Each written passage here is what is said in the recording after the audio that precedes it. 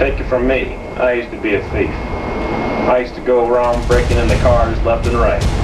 Breaking into cars is easy. Most people have ignition stoppers.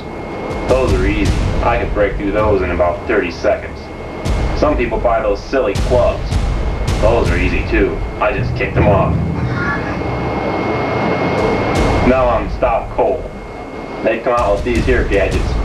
If I see somebody's got one of these, I just pass them up. If everybody bought one of these, I'd be out of business. Listen to me. I know what I'm talking about.